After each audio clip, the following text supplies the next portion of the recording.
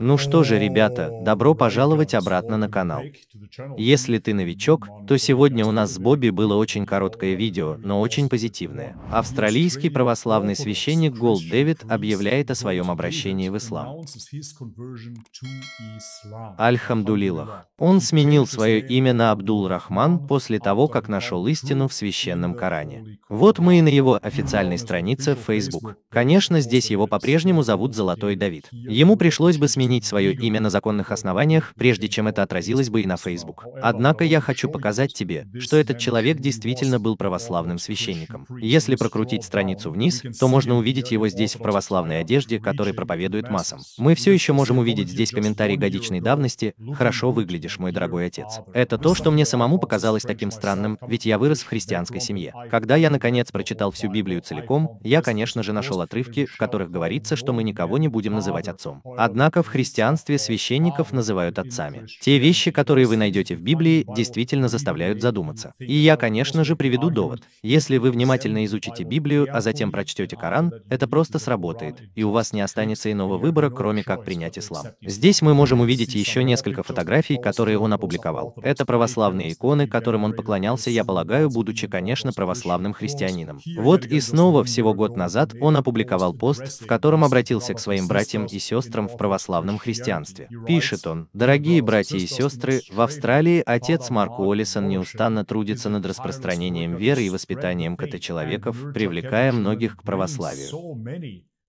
Сейчас, не спрашивая, он отчаянно нуждается в помощи, чтобы провести операцию с высоким риском и высокой стоимостью и так далее. И так далее. Называй как хочешь. Так что здесь он по-прежнему выступает за распространение ортодоксии, особенно в Австралии, откуда он, по-видимому, родом. И здесь мы находим сообщение от 18 января, так что на самом деле меньше года назад он все еще публиковал это изображение Иисуса Христа. И в нем говорится, назвал тебя своим возлюбленным сыном. Еще раз повторю, всего несколько месяцев назад он все еще пропагандировал православие со всеми вытекающими отсюда последствиями. Иисус Христос, якобы Сын Божий, Троица и так далее. Давай просто просмотрим еще несколько фотографий, которые он выложил. Здесь ты видишь, как зажигаются церковные свечи. Здесь снова изображено много-много икон, еще одна церковь. Это было еще в мае. А вот здесь 20 мая 2023 года предположительно произошел сдвиг, так как тут некто изображенное покрытой, что, конечно, напоминает ислам. Но на самом деле ключевым показателем здесь является текст. Прочитай это и обрати на это внимание. Мы должны подчиниться Божьей воле. Звучит знакомо? Пути Господни кажутся трудными для понимания, но они предопределены провидением и служат нашему благу, о чем мы скоро узнаем. Итак, теперь, когда он принял ислам, оглядываясь назад, я думаю, что это уже намекало на его возвращение к исламу. Конечно, люди, которые знают, нет. Подчинение Божьей воле — это ислам. Вот что на самом деле означает ислам — подчинение Богу. А затем, в сочетании, конечно, с женщиной в покрывале, я верю, что именно здесь действительно произошел сдвиг. Но давайте продолжим. Здесь мы все еще видим изображение Агнца Божьего, то есть Иисуса. А здесь, с другой стороны, просто изображение природы, еще одно изображение природы, еще одно изображение изображение природы. Я не знаю, что это такое. А потом мы видим Коран. Это действительно удивительный человек. Еще раз повторю, когда мы прокручиваем хронологию назад, ты сам это видишь. Именно в этот момент определенно произошел сдвиг. Женщина в покрывале подчинила свою волю Богу. А если пролистать дальше, то больше ничего о христианстве не найдешь. Ты просто найдешь природу, природу, природу. И это, конечно же, то, к чему призывает нас Коран, размышлять о природе, видеть чудесное творение нашего Господа, конечно же. Если мы продолжим дальше, дальше, то тут природа и снова что-то неизвестное мне. А потом друг бум. У тебя есть Коран. Прокручивая дальше, мы видим гору, а затем мечеть, действительно красивую мечеть, должен сказать. А теперь мы видим новую фотографию профиля, где он с бритой головой. Так что это в ноябре этого года. Даже если он не заявил об этом официально, то я думаю, он принял его в сердце. Потому что следующий пост, который ты можешь найти, это сура Аль-Касас. «Мой Господь, действительно, я причинил зло своей душе, так что прости меня». И это, конечно, очень сильно звучит в устах православного священника. И еще раз повторю, ребята, я сам вырос в православной семье. Я не был священником, но суть в том, что православие означает правильный путь. Каждый ортодоксальный христианин, который твердо верит в свою веру, конечно же, верит, что это правильная религия перед Богом, что это, так сказать, откроет врата рая. Это наш билет в рай.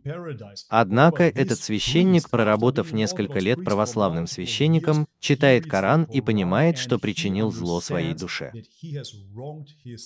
Поэтому он ищет покаяние у Всевышнего, не у Иисуса, не у Марии, не у Святого Духа, а непосредственно у Бога. А теперь давайте посмотрим еще несколько фотографий из его прошлого православного священника. Здесь вы снова можете увидеть его в полном облачении. Мы уже видели этого человека здесь, на мессе, с крестом совершающего крещение. Зацени-ка вот это. Еще раз повторю для тех, кто не верит, что он был истинным православным священником. Вот здесь он сам проводит крещение с иконами. Есть кое-что, что лично меня бесило, когда я был православным христианином. Золото повсюду. Не пойми меня неправильно. Мне нравится эстетика золота. А кому это не нравится? Однако найти его в месте поклонения кажется таким помпезным, таким неуместным. И это действительно то, на что люди на Балканах довольно часто жалуются. Они говорят, эй, мы голодаем, у нас нет денег, а эти священники просто украшают себя золотом. Вот здесь ты снова видишь его перед церковью вместе с другими священниками и монахами. Ты снова в этом наряде. Он, очевидно, был православным священником. А теперь посмотри на это. У нас есть пост в группе Facebook под названием «Новая ассоциация помощи мусульманам», и 3 декабря он пишет «Ассаламу алейкум, я верующий из Тасмании». А до этого я был православным священником. Я был бы рад поддержке и дружбе, поскольку я стремлюсь углубить свой иман. Теперь я Абдул Рахман, стремящийся служить Аллаху. И он публикует фотографию «Субханаллах, Альхамдулилах, Ла Илаха Илаллах, Аллах Акбар. Все в порядке, ребята. Вот и все для сегодняшнего видео. Альхамдулилах, у нас есть еще одна возможность вернуться. Однако, конечно же, в глазах Господа мы все одинаковы. Мы просто люди. Но для этой дуньи в этом мире, конечно, крайне важно, чтобы другой священник принял ислам, особенно православный. Потому что, как я уже неоднократно говорил, для этого мира чрезвычайно важно, чтобы другой священник принял ислам, особенно православный христианский священник. Потому что, как я уже неоднократно говорил на протяжении всего этого видео, да, я сам происхожу из ортодоксальной христианской семьи. Но, честно говоря, ты же знаешь, как устроено интернет-сообщество. Они скажут тебе, что на самом деле он не был христианином. На самом деле он не был ортодоксальным христианином. Ну и что с того, что он родился в ортодоксальной христианской семье? На самом деле он не практиковал яда, яда, яда. Какой бы аргумент я ни привел, для интернет-сообщества это не имеет значения, и это нормально. Однако, что бы ты сказал о православном священнике? Разве он не был по-настоящему практикующим? Разве он неправильно относился к христианству? Он на самом деле не понимал Троицу. У него слишком низкий коэффициент интеллекта. Возможно, он слишком глуп. В чем была проблема с этим человеком? Возможно, дьявол сбил его с пути истинного. Вот что скажут христиане. Но посмотри на него, старик. Он уже взрослый мужчина. Он, конечно, пожилой джентльмен, и он уже много лет является священником. И сейчас, на более позднем этапе своей жизни, он, наконец, принимает ислам, альхамдулилах, после прочтения Корана. Разве это, по крайней мере, не интригует тебя? Почему бы тебе самому не взглянуть на это? Допустим, ты ортодоксальный христианин, ты христианка, ты видишь это, и это вызывает у тебя абсолютное отвращение. Тебе это не нравится. Как он мог? Это богохульство и так далее. И так далее. Называй как хочешь. Но разве ты не заинтригован? Что же этот человек нашел в Коране? Как я уже неоднократно говорил, для меня это было то же самое. Я вырос в семье, ненавидящей ислам. Но что же я такого сделал? Я открыл книгу врага. Я заглянул в нее, и то, что я обнаружил, просто не могло мне поверить. Как только я нашел это чистый монотеизм в Коране, я понял, что нашел послание Бога. Но если ты не веришь мне, то не веришь и Голду Дэвиду, бывшему священнику. Все в порядке. Просто открой сам Коран и попробуй опровергнуть его так же, как это сделал я. Но для этого нужно мужество. Я знаю, потому что многие христиане, мои бывшие последователи, обращались ко мне и говорили, «Чувак, Бобби, я желаю тебе всего наилучшего. Ты знаешь, я действительно ненавижу ислам, но слушая тебя, я понимаю, что в этом есть большой большой смысл. И теперь я боюсь открывать Коран, потому что не хочу быть мусульманином. Именно так говорят люди, чувак. Они так боятся той преобразующей силы, которой обладает Коран. Но если ты тверд в своем убеждении, что это неправильно, открой его и попытайся опровергнуть. И более того, если ты действительно ищешь истину, чего ты боишься?